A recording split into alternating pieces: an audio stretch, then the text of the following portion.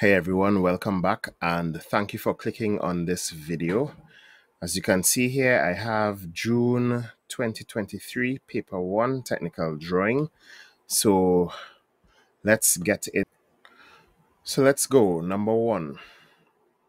We have an ellipse here and it says the diagram illustrates the proper method of. So this is a question we came across before and the answer is C. Finding the foci, that's these two, the normal, and the tangent of an ellipse. Number two, which of the following terms describes how construction lines should be drawn? Dark, light, chain, or broken? The answer is B. Construction lines should always be drawn light or using light lines. Number three, in technical drawing, the phrase curves meeting each other tangentially means that the curves, the answer is A, the curves will meet smoothly. The curves will meet smoothly. Number four, in the diagram, ABCD is a parallelogram. The triangle CDE is equal in area to so CDE, CDE is equal in area to half of ABCD, right? And uh, we would have discussed this before. Basically, the triangle has the same baseline as the quadrilateral, and it has the same height. So once a triangle has the same base and the same height of a quadrilateral, then it has half the area. So the answer is D, half of ABCD. Number five, which of the following geometric elements has position but not magnitude? Is it a line, an arc, a point, or an angle? The answer would have to be C, a point. A point has a position but no magnitude. It cannot measure a point. So number five, C. Number six, the fire emergency exit doors leading from a workshop should open. The answer is D, outwards. Right, so public doors leading from public spaces should always open outward. Number seven, which of the following diagrams best represents an external and an internal tangent? The answer is B. So this is the external tangent and this is the internal tangent. Number eight, AB is equal to, so this is AB here, AB is equal to the minor axis of this ellipse. So the answer is B. Number nine, which of the following descriptions best fits a quadrilateral?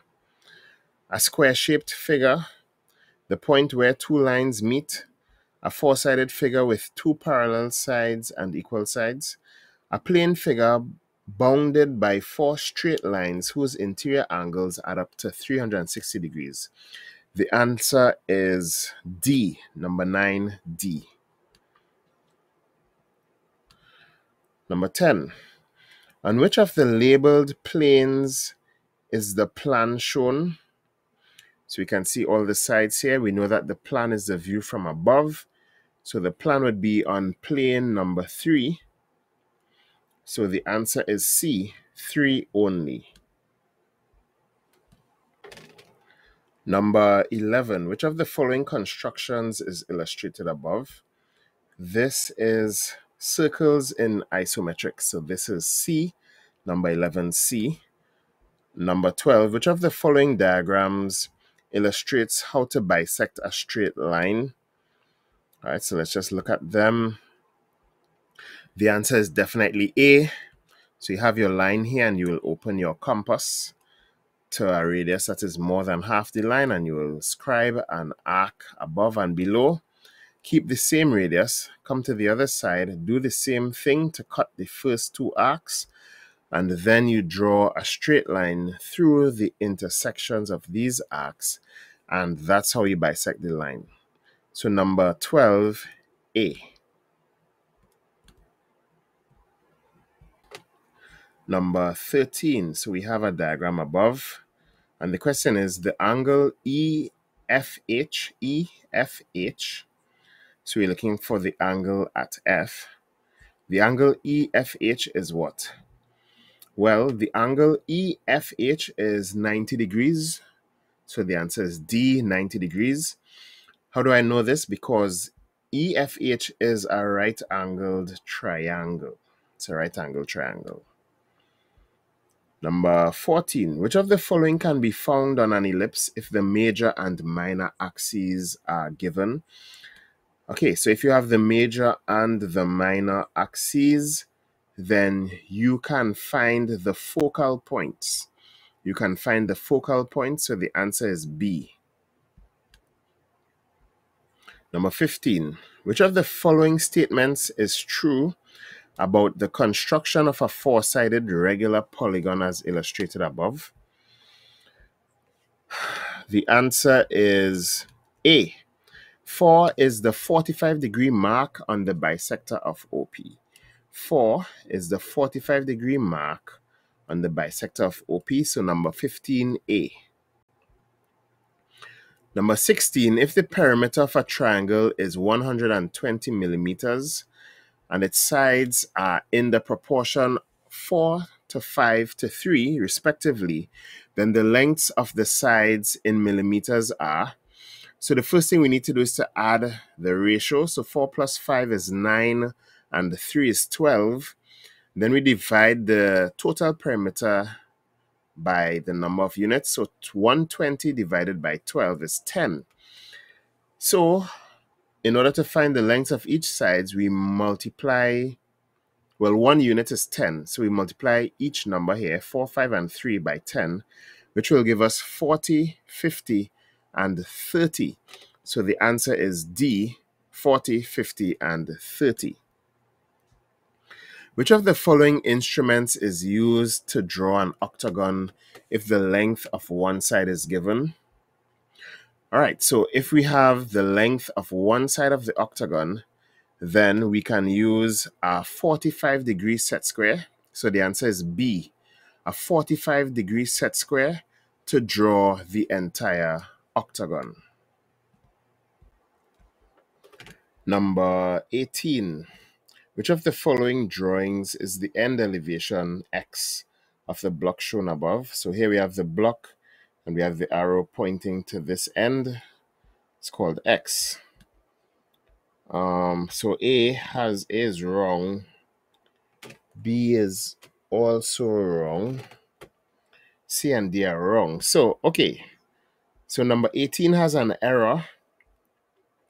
Um, the answer should be a rectangle like this with a hidden line across the center right? Should be a hidden line across the center.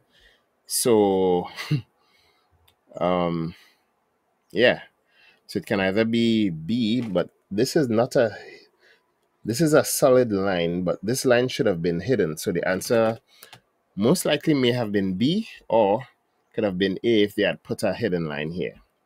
Right? So I'm sorry about that, but I hope you understand. Number 19, when preparing a drawing sheet, all horizontal lines are drawn with a t-square. The answer is B, t-square. We always draw horizontal lines with t-squares. Number 20, in the diagram above, EF to E, EF to EF1 is in the ratio 3 to 4. The length of EF1 is, now this is a question that has we have come across many times before. So EF is 45 and 45 contains three units. So if we divide 45 by 3, we'll get 15. So each unit is worth 15. So 15 by 3 is 45. And EF1 is 4. So 4 by 15 is 60. So the answer is C, 60.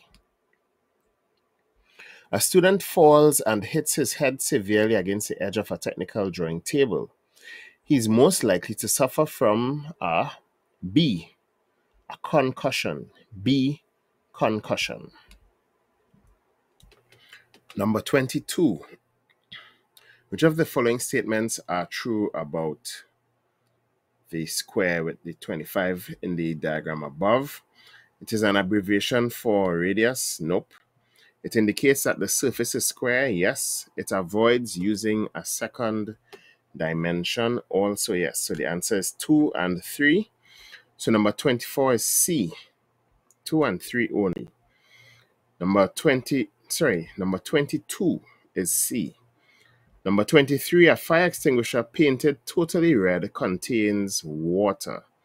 A fire extinguisher painted totally red contains water.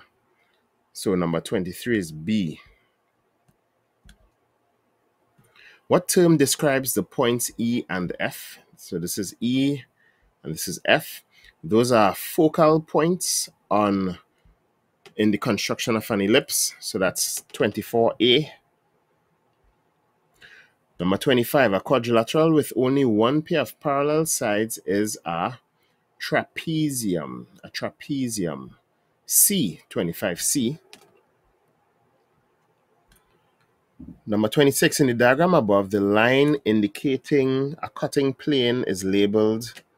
Initially, I thought it was 3, but looking at it closer, 2 actually points directly at the line.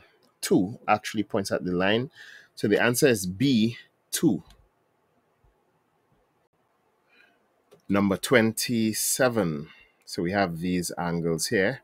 Which of the following gives the order in which the angles are shown? The first angle is obtuse, the second is acute, and the third is reflex. So that's D. Obtuse, acute, reflex. Number 27D.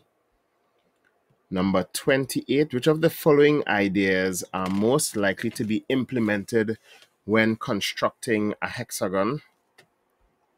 It can be constructed if given the diameter of the circumscribing circle. Um, yes, you can use this. It can be constructed if given the across flats dimensions. This is also true. And it can be constructed by drawing tangents to the circle with a 60 degrees set square. I will say D, 1, 2, and 3. Number 29.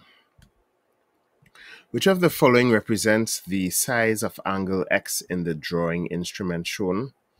So this is a 30-60 set square. This angle is 90 degrees. This angle is 60. And this one down here is 30. So X is 30 degrees A. Patterns for cones and pyramids are produced by a line development known as plane radial curved or parallel? The answer is B, radial. For cones and pyramids, um, the lines start from the center and radiate outward. Hence, they are called radial lines, B. Number 31, if the length of a line on a drawing is 25 millimeters and the scale ratio is 1 to 10, then the actual length is, so it's 1 to 10 um, so 1 represents the length on the drawing and 10 represents the length in real life. So 25 by 10 is 250. So number 31D, 250. Number 32. Which of the following diagrams shows the proper method of bisecting an angle? So, well, I won't keep you much longer. The answer is A. There's an original angle here, CAB and they drew an arc using A as center to cut both CA and BA. Then they used those two points as centers and drew two more arcs which intersected here and this is how they bisected the angle. So number 32A.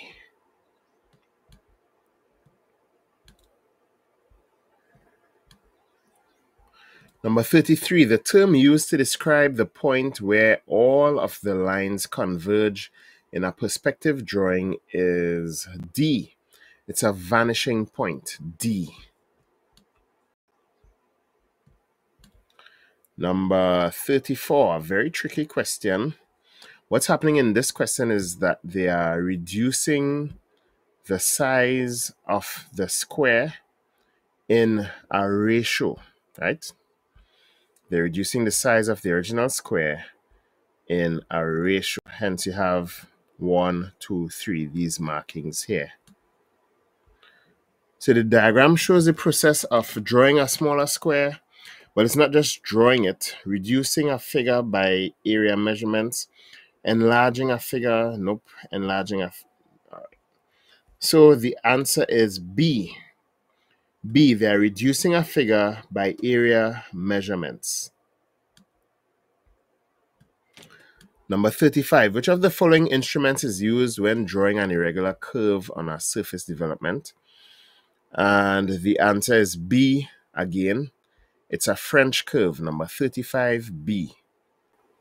Number 36.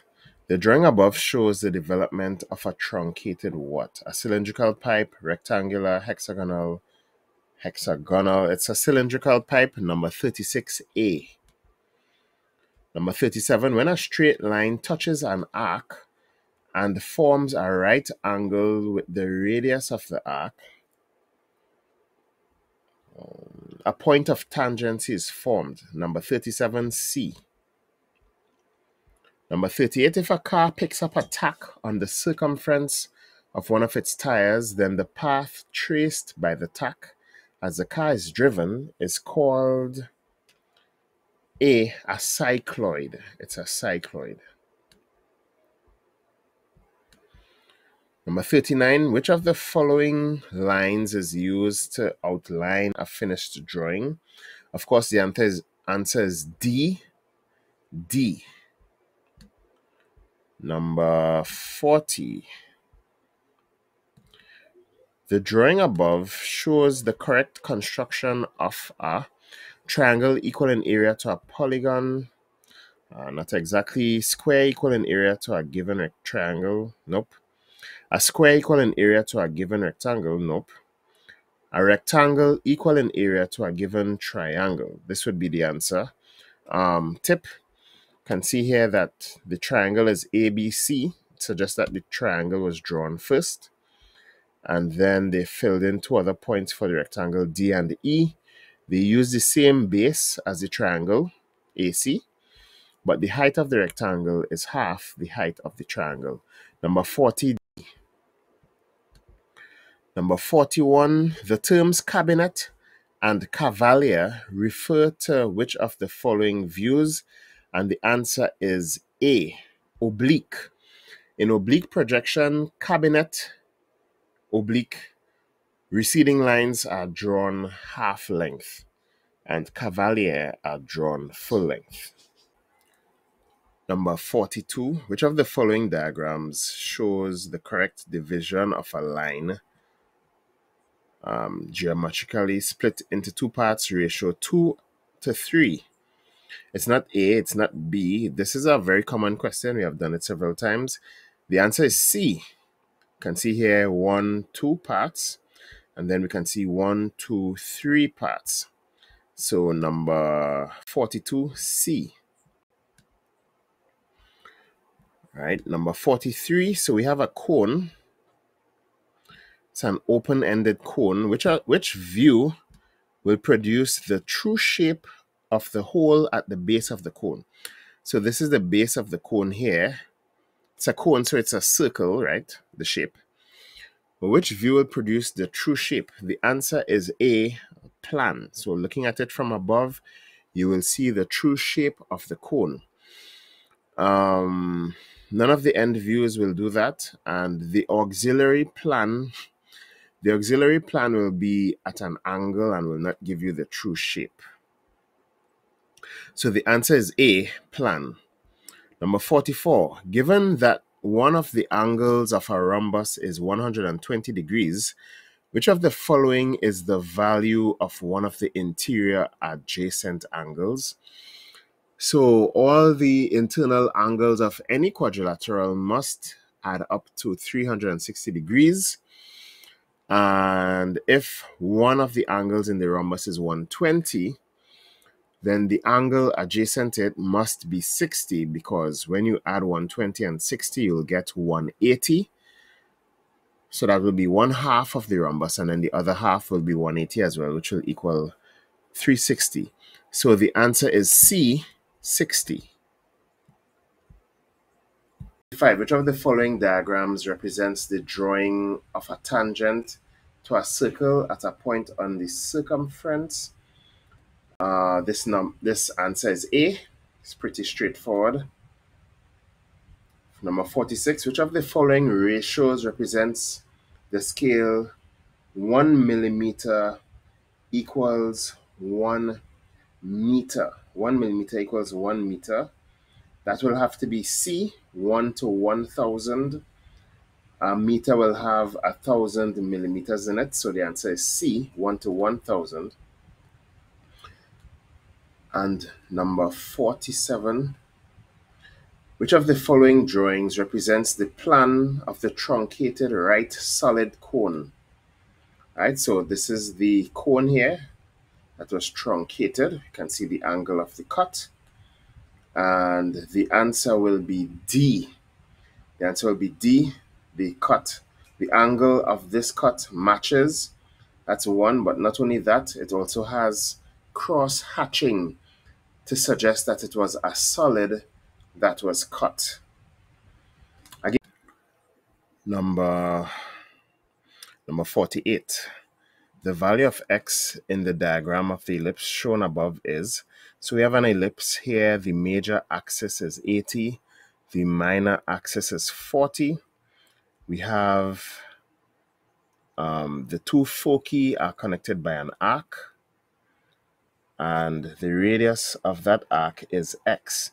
So the question is, what is x? Um, x is 40, which is a, x is 40, which is A. And how did we get 40?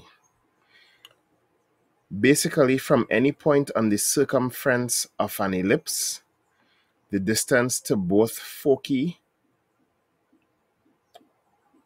so the distance to this focus point and this focus point, if you add both distances, you will get the length of the major axis. So even if the point were over here, and you measure the distance to this focus point and this focus point, if you add both distances, you will get the length of the major axis. In this case, it came from the center of the ellipse. So we know that the length of each of them is equal, is the same, and the major axis is 80. So this distance is 40, and this distance is 40. So number 48 the answer is A, 40. Triangle ABC is drawn within a semicircle of diameter 100. So AC is 100. AB is 80. What is the length of BC? The length of BC is 60. All right, the length of BC is 60. I know this because I calculated it, but um, I don't have a simple way to tell you how to work it out. But the length of BC is 60. And number 50, the distance between two successive turns in a helical spring is called the pitch. It's called the pitch. So 50C, 51. In the diagram of the hexagon shown above, the value of x is so the value of x is actually 60 degrees. B, 60 degrees. Number 52.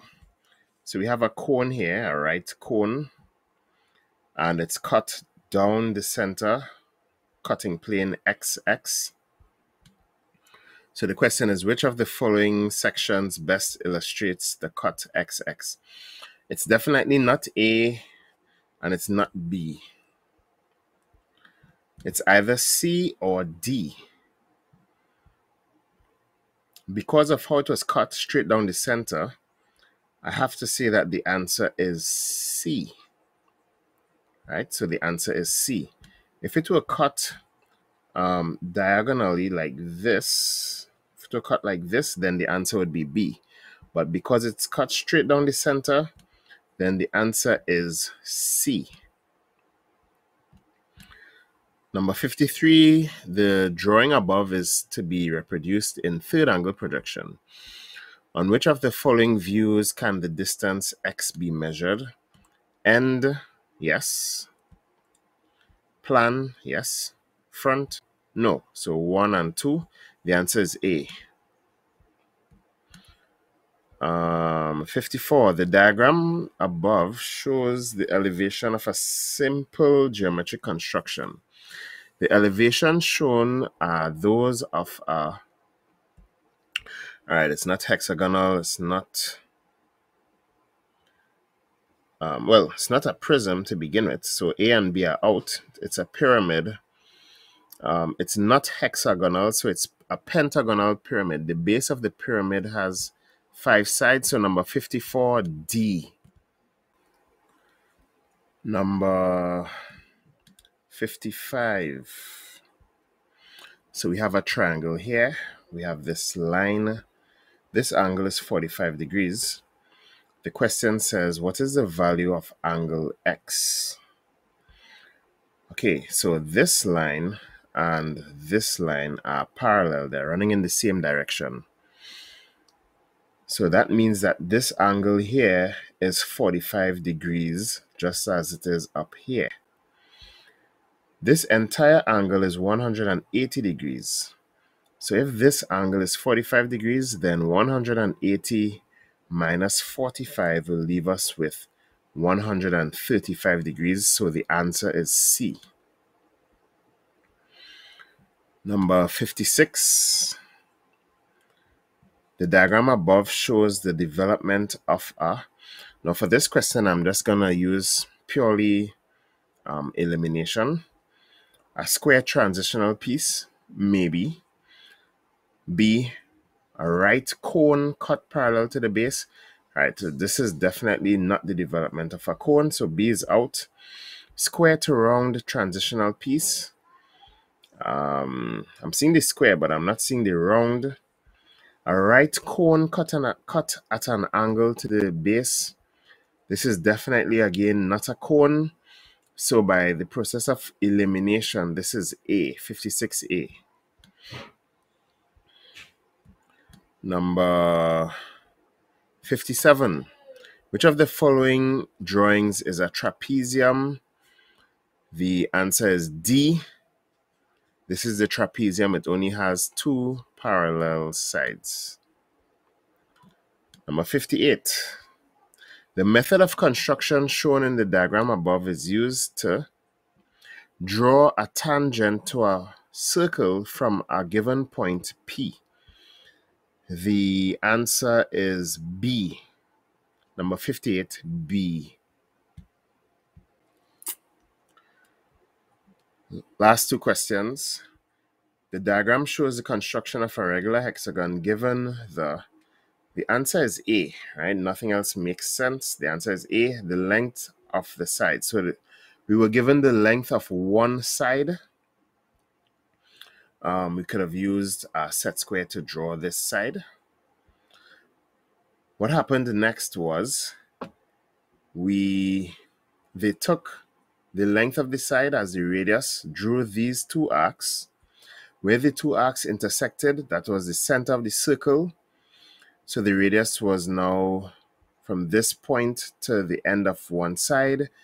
They drew this circle, the circumscribing circle, and using the length of each side and a compass, they made these further cuts along the circumference, and that's how they got the hexagon. Number 60, the perpendicular distance between lines PQ and RS of a trapezium is 3.5 centimeters. Which of the following lines would be parallel? So this question has come up in all the past papers that we have done. And the answer is C, RS and PQ. These two lines are parallel. And this brings us to the end of our paper. I hope that you would have learned something. And if you haven't already, please like and subscribe. Thank you very much.